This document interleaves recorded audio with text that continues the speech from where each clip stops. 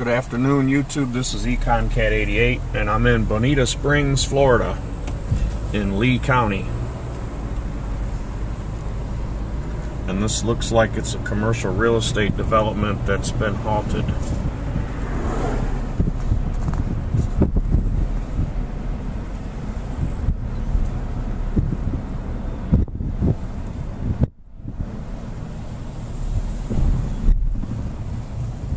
Called Trade Center Drive.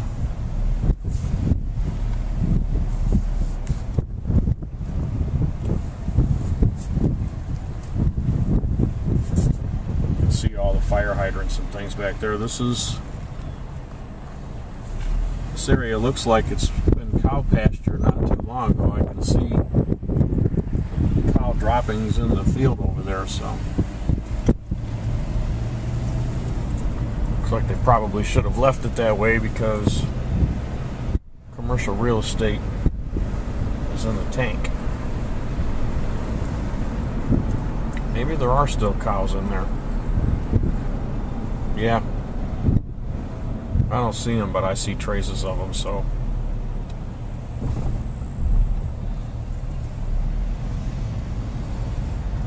They just got in a little bit too much of a hurry to develop all this commercial real estate. Yeah, here they are right over here. So, so you got this fancy, uh, fancy road, curbs and everything else in here, and they still have livestock grazing.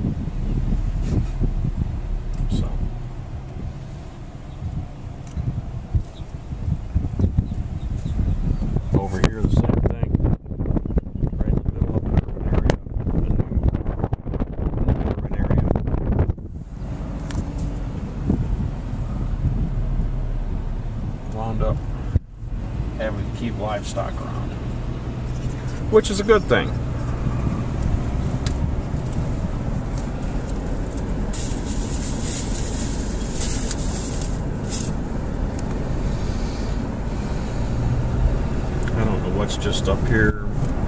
We may make this one a quick video. This place here is called the Waldrop Center I can only imagine how many vacancies are in there.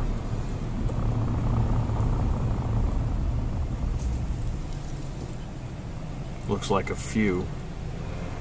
First floor has six and one is sold. Second floor is completely empty. The third floor has eight units six or eight units and two of them are sold. So,